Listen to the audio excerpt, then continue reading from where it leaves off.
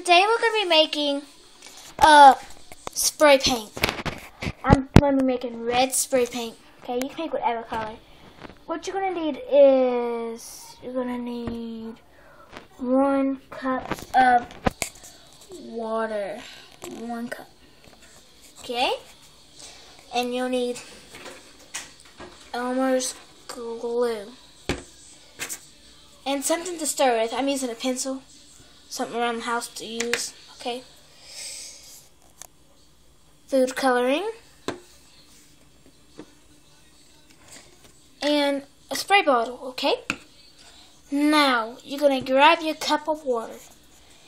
And then you're going to get your food coloring and put five squirts.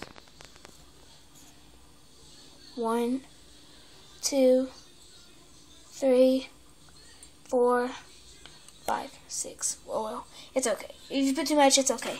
Then you're just gonna mix the water. It should look like you got red water. Okay? Then you're gonna put probably about five teaspoons of this. Good. I'm not really measuring. I know I should measure, but I'm not measuring. Okay, and then you're gonna get it, and then you're gonna stir. It. Looks very good. This is just for it, the glue is for it tips. So you know how spray paint gonna dry sometimes, so the glue helps it dry. I know I should be measuring the glue, but it don't matter. It's about five teaspoons, so. Okay. When you finish, you're gonna get your spray bottle. Okay, can you hold this? Please hold it right there. Make sure it sees that, okay? Hold it, don't move it. Okay, then you're gonna get your spray bottle.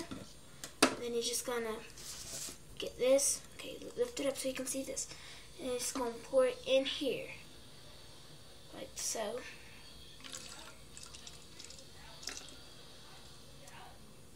Pour in your spray bottle.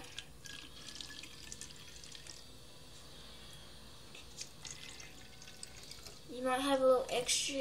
Depends how much, how big your spray bottle is.